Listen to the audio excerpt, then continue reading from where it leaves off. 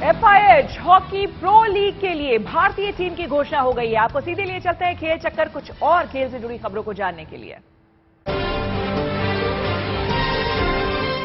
ओडिशा के राउरकेला में होने वाले FIH hockey pro league matches को लेकर मेंस हॉकी टीम का ऐलान हो गया। रेफरी कर हरमनप्रीत सिंह 20 सदस्य टीम की कप्तानी करेंगे। इन प्रो लीग मैचेस में टीम इंडिया के मुकाबले विश्व चैंपियन जर्मनी और वर्ल्ड नंबर चार ऑस्ट्रेलिया के साथ हैं।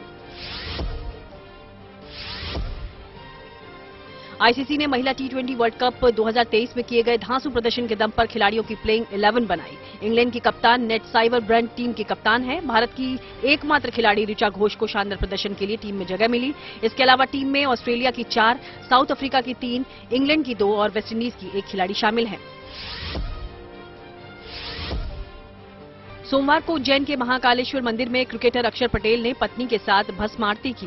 वो दो घंटे से ज़्यादा समय तक बाबा के दरबार में रहे। उन्होंने कहा कि वो पाँच साल पहले भी आए थे, लेकिन तब भस्म आरती में शामिल नहीं हो पाए थे, लेकिन आज उनका ये सपना पूरा हो गया। IBA women's world boxing championship 15 मार्च से शुरू है। Tokyo Olympics bronze medallist Lovlina Borgohain और विश्व चैंपियन निखत जरीन प्रतियोगिता में भाग लेंगी। यह आयोजन 15 से 26 मार्च तक चलेगा। भारत इस इवेंट की तीसरी बार मेजबानी कर रहा है।